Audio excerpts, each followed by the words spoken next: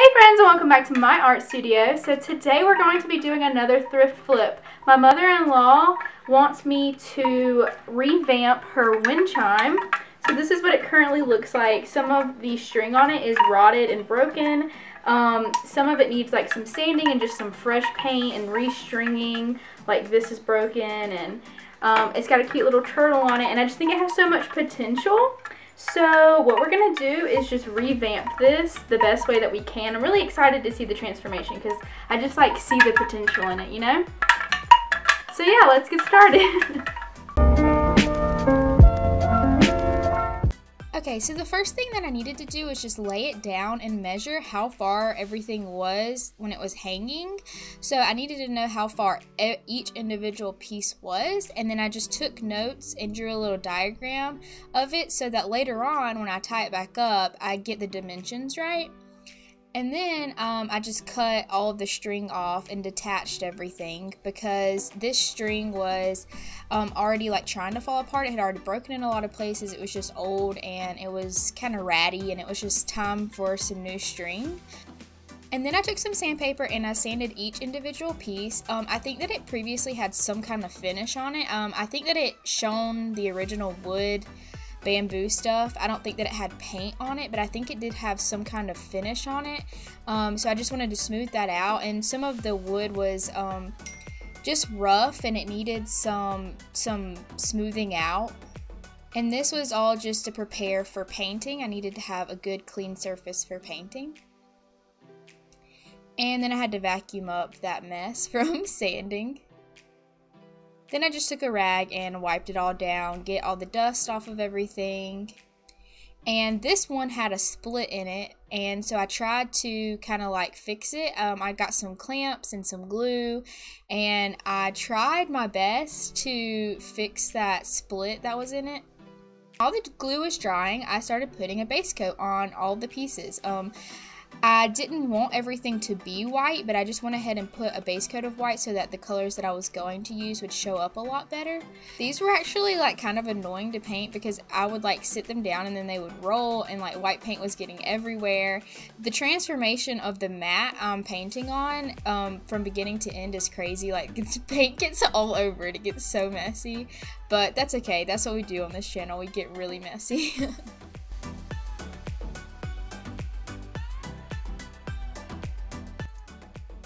Painting the little beads are really hard throughout the entire video. It's hard because they're so small and I need to like pick them up and if I don't pick them up then they roll on the mat while I'm trying to paint them and it just, it's a mess. It gets everywhere. It gets all over me. It's just a mess. It's really hard to paint the beads. Alright, so to start out the design, I decided that on these um, longer pieces, I wanted to ombre from a more burnt orange to a yellow all the way up to the white. I did want to leave a little bit of white at the top. Um, I was thinking the theme for this is kind of like sunset on the beach since it's a sea turtle. So I wanted to really like play off of like the color palette of a sunset on the beach. So that's what I do here and I just ombre it up and I love how these pieces turned out. I think that it's beautiful. I did have a little bit of a hard time ombreing from the yellow to the white, but um, like with all paint projects, the more you work with it and the more layers you put, the better it looks. And then I move on to the turtle, which I was super excited to design. Um, I start by kind of like blending in a bunch of different color blues and greens and um, then just painting like the actual turtle kind of like a darker green just so it would stand out from the shell. This turtle is so cute. I love him a lot and he only gets cuter throughout the video. So just buckle your seatbelts. So I did a lot of dot work on his shell and on his head and I outlined everything in white and um, I did this off camera because I really wanted to concentrate and make sure that the design was like what I wanted it to be but I did get the last couple dots on camera just to show you guys what I was doing. I also did some dot work on these pieces, but I didn't like the background being white. It just, it didn't feel right to me. So I took that color that I used on the base of the turtle and I just colored it in and then I did some dot work on it as well. And for these, I just used every single color that was in the color palette that I was using for the entire wind chime. I used that and just made a pattern in the dot work, kind of like a striped pattern, but just a little bit more funky funky than just stripes. So how I do dot work is I use the end of my brush, not the brush part, the other side. As you can see right here, I'm using like the opposite side. Um, if you dip this in paint, it usually makes like a perfect circle because the end of brushes are already like rounded. So there's a little hack for you guys.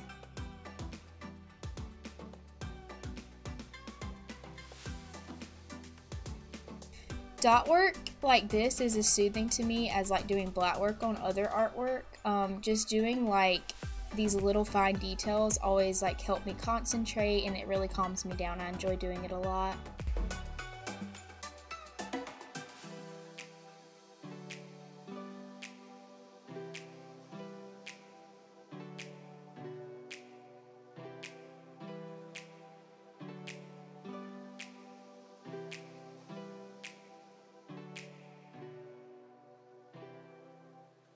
I flipped them over and did some more dot work on the other side.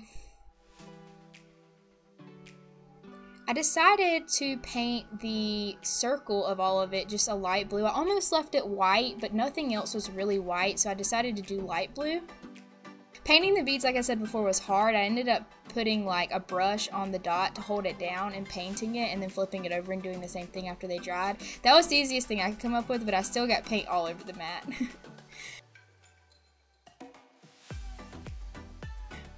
Um, and then I moved on to these. At first I was going to just leave them yellow, but then everything else had so much detail I didn't think that I could. So I added some dots along um, the side of them, and I'm glad that I did that. I think that it did tie everything together and it looks great.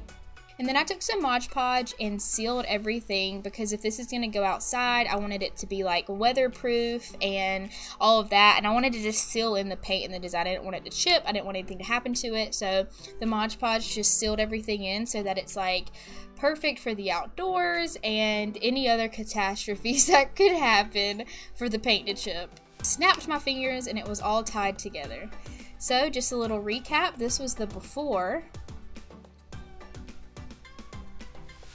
and this is the after.